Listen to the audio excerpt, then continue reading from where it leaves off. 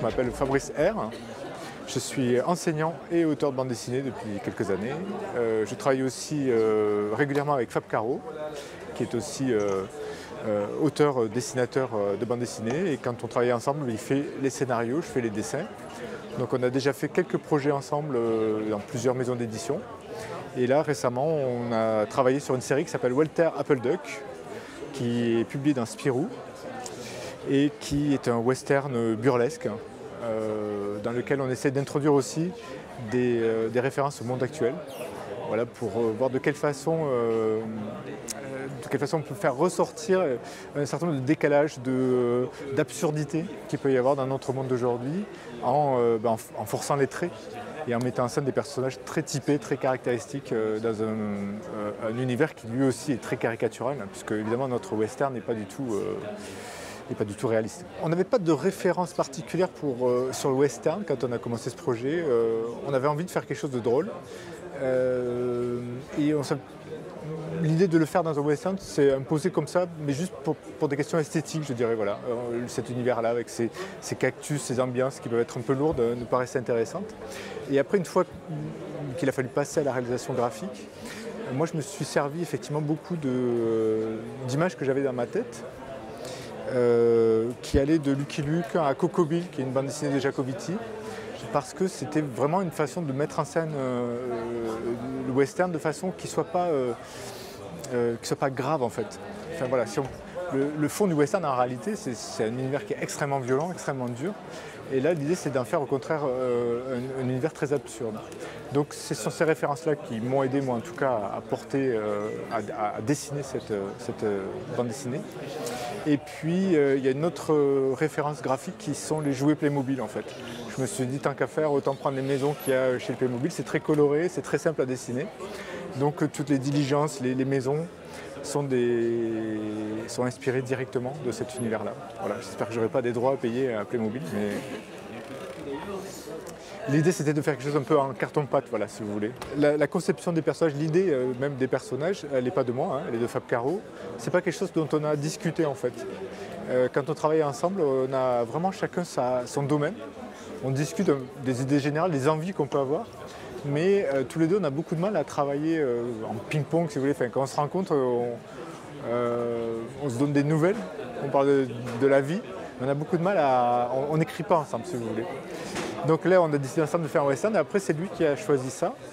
Et euh, je pense que ce qui l'a intéressé, c'est justement le contraste qu'il pouvait y avoir. Il est parti de l'idée que le, Far West, par principe, c'est un univers euh, dur, macho, euh, peuplé de crétins incultes en fait, parce qu'ils sont à la frontière, ils sont à la limite de, de cet effort de colonisation qu'a été, été cette conquête de l'Ouest.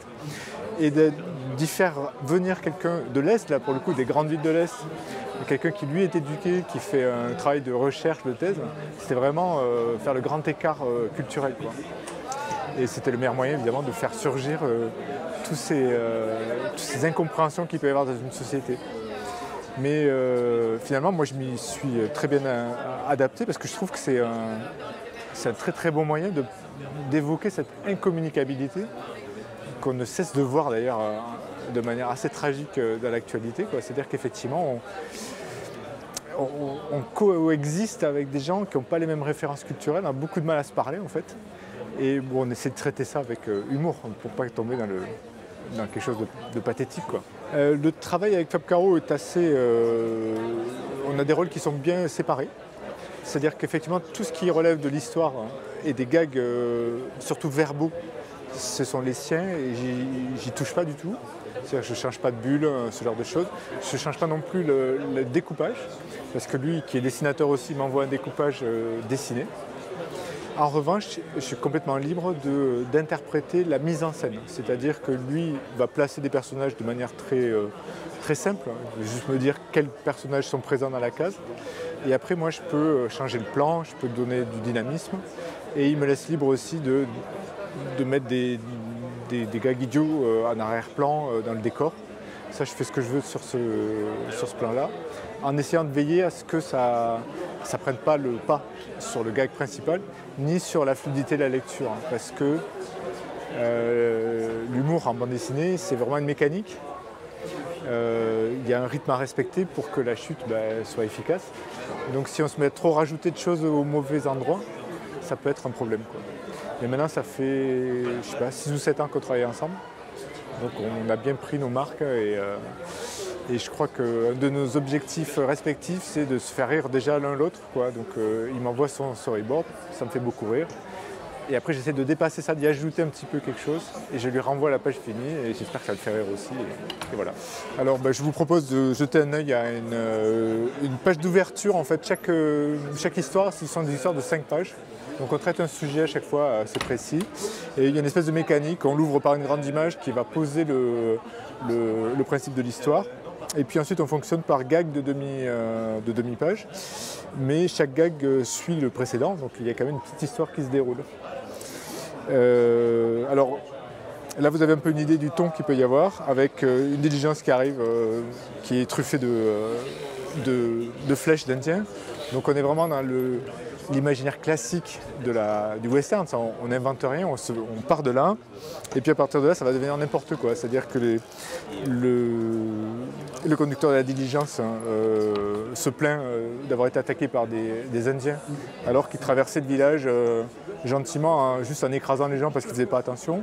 Et puis les choses commencent à déraper. Bon, j'ai fait une flèche qui a crevé le pneu de la diligence, c'est pas un pneu, donc c'est un côté très absurde évidemment. Et puis on rentre voilà, dans euh, ce que Fab Caro essaie d'introduire, c'est-à-dire des références à ce qu'on vit aujourd'hui. Le, shérif s'exclame un saleté de bougnou la plume. Donc, évidemment, c'est pas hyper fin.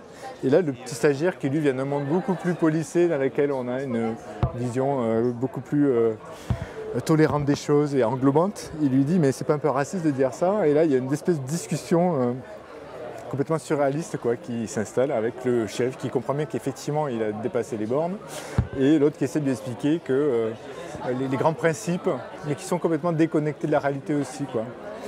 Donc l'idée c'est pas non plus de, dire il y a d'un côté les abrutis, de l'autre côté il y a ceux qui savent, c'est de montrer voilà, que les gens réagissent en fonction de leurs références, de leur propre euh, façon de voir les choses, et que c'est quand même très très difficile d'arriver à, à, se retrouver sur le même plan. Voilà. Moi, graphiquement, j'essaie de le mettre en scène avec ces gens qui sont très souvent euh, coupés euh, en plan américain et ils sont face à face. C'est les mondes qui s'opposent et qui essaient de se parler. Euh, le festival d'Angoulême, je ne sais pas si c'est partagé par tout le monde parce que j'entends beaucoup de gens qui voient ça comme une espèce de corvée. un passage obligé quoi, et puis une, très grosse machine. Quand on se promène dans les allées, c'est un peu impressionnant, un peu, un peu flippant. Mais en tant qu'auteur, c'est quelque chose que moi j'ai toujours trouvé mythique. Quoi. je suis venu quand j'étais petit en tant qu'amateur de bande dessinée, ça faisait euh, un peu rêver. Et en tant qu'auteur, j'ai trouvé euh, un endroit euh, très particulier aussi, c'est-à-dire que c'est le seul moment de l'année où tout le monde est réuni au même endroit. On fait d'autres festivals dans l'année, mais on rencontre deux, trois personnes. Là, on rencontre d'autres auteurs, on rencontre aussi toutes les équipes qu'on voit très rarement, les éditeurs, les attachés de presse, les, les assistants de direction, enfin tout ça.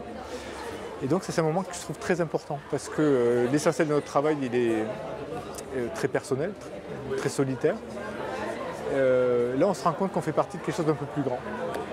Et on rencontre aussi les lecteurs, mais ça c'est pas le meilleur endroit par contre, parce que on est sur des espaces qui sont surchargés, il y a très peu de temps pour parler, c'est très bruyant. donc ça, il vaut mieux rencontrer des gens dans des festivals plus petits, dans les librairies quand on y va. C'est un peu moins intéressant de ce côté-là enfin, intéressant, c'est un peu moins euh, humainement intéressant. Mais euh, après, tout ce qui se fait en off avec les gens qui nous entourent, quoi, ça c'est vraiment euh, important.